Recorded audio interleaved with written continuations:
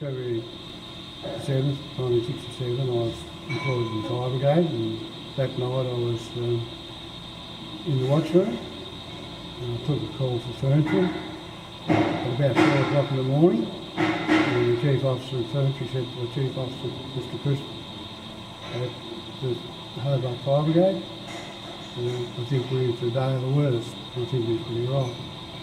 Anyway, we turned out a crew to, to Ferntree and then later on they proceeded for fire Ferntree. Chief officer come down and said, you better get out of the watchroom and take me up there.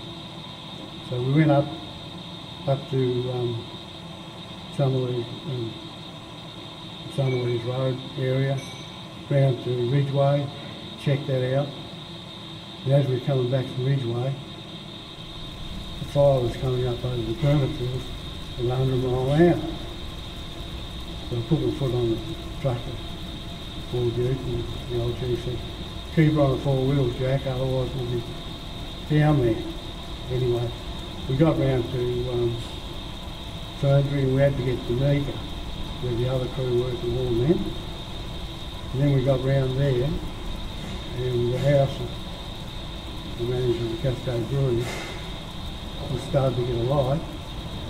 So uh, over the job of climbed up on the roof and put the ridge cap out there. And at the meantime, the, um, the um, pine trees were exploding all around you. And then, anyway, we got that under control. And then we left the rest of the fire crew there and went back to Ferntree. There was only a chief officer and I. And the chief said, I can't see. I said, well, follow my footsteps, chief, but I'm not. Anyway, we, uh, we went up and run a, a line of hose out to the big double-story house at the back of the Ferntree Club. Anyway, and then the water pressure was nothing. And the crowd had got around the front of the Ferntree Pub.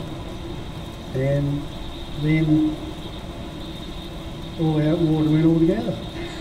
Well, it happened, the crowd undone their hose pipe to get the water out of the standpipe. Put wet cloths and things like that.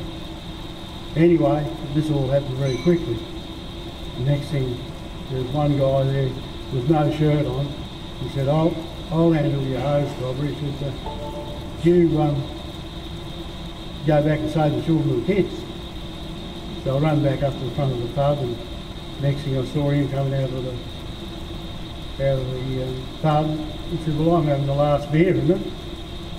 So, and then the pub went up and then uh, two policemen come in, Ronnie Stanton and Johnny Brown.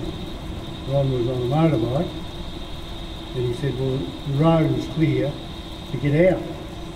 So we, the chief and myself and the two policemen organised all the crowds, the used cars, whatever we could. I had this Ford Ute and people sat in the back of the Ford Ute. And the weight of the people ran on over to steer it. You know, so we're going down the road and, you know, there's poles that over the road, we have to drive over some of those. And anyway, I got to Ferntree, to um, Strickland Avenue, there's a bare patch of lawn there, so I said, I'll unload my crew there and go back and get another load in the chief officer, which was back at the Ferntree. Anyway, as I was coming out, the chief officer was coming out in one of Palmer's trucks. He was the last man out. Anyway, I followed him right down to Constitution Dock. And while I followed him down to Constitution Dock, because the truck had run over the poles and pulled the brake linings out of the truck and couldn't stop till we got to Constitution Dock.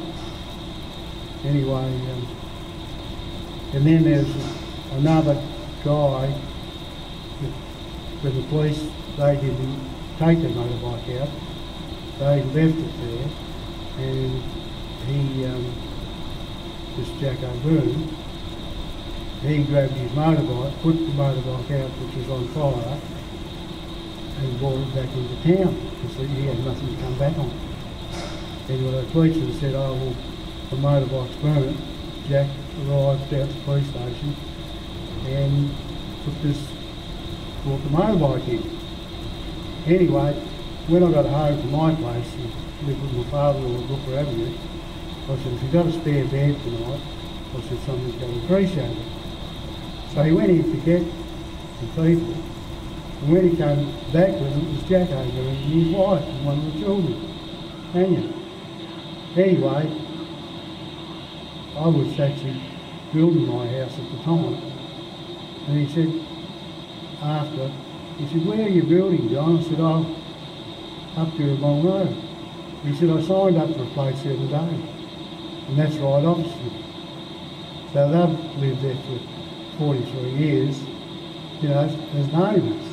Over there now is 97, and she's in the Bupa home at um, Macquarie Street. Yeah, go around, it? Yeah. But um, yeah, it's not another day on the face of your life.